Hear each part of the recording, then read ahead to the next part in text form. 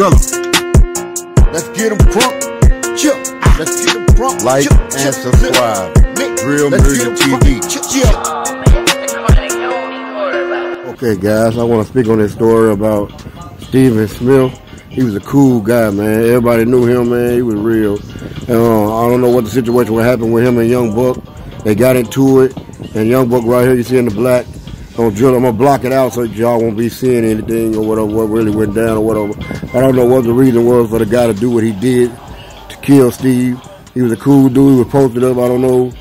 It was like it was a hit or something because it was crazy how this went down, man. Steve was cool, man. He just had showed love to uh, uh, Ada Park Strip them over there, um, King Yellow Boy or whatever. But um, and then he ended up getting killed, not knowing his his time was coming the next few days or whatever. But it's crazy, man. Uh, how these people losing their life, man. Um, I actually knew I actually knew uh, Steve, man. He was a cool guy, man. I actually knew him, man. But that's messed up, man. What happened to him, man? Um, these young bucks out here, man, they doing whatever they want to do, man. I mean, just, we just killing anybody and everybody. I mean, for no reason, for nothing.